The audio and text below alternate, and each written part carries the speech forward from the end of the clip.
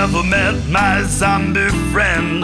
He's the kind of friend on who you can depend. The sun shines bright as bright can be when you're living with Steve.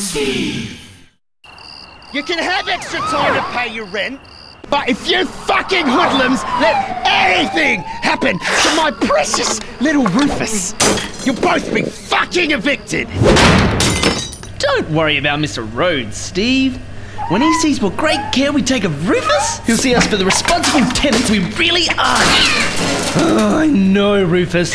You're hungry, but all you have is this old pie. That's normal cat behavior, right? Is it sick? Wake up, sleepy kitty! Kitty! Wake up! Wait, Steve. I know what happened to Rufus. Be gone, demon! Steve, we've been doing this exorcism for like four hours now.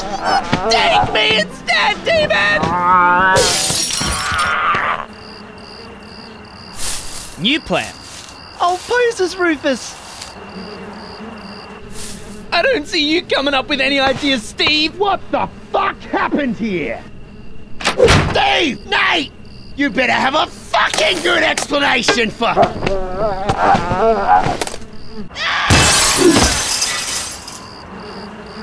Well, Steve, he found out.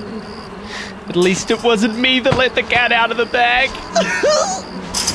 sure is cold out here.